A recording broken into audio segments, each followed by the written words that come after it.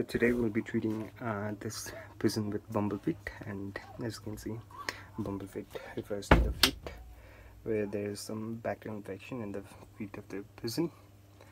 So basically you'll be treating it with enrofloxacin 2.5 mc of enrofloxacin and give it along with a liver tonic. I prefer liver 52 and just clean the wound with some apple cider vinegar so I'll, I'll also be showing the medicines. And if you have any questions please comment it in the video. So I'll repeat the medicines are enrofloxacin and a liver tonic and clean the wound with apple cider vinegar. Enrofloxacin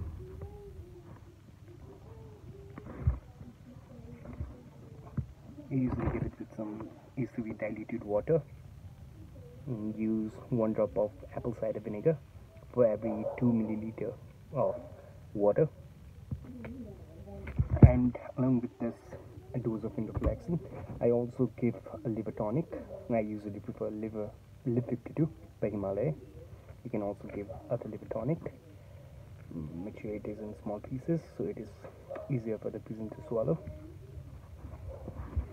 Uh, and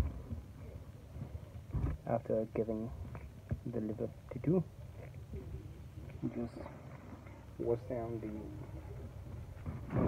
feet of the pigeon with some apple cider vinegar. So that's it guys for this. video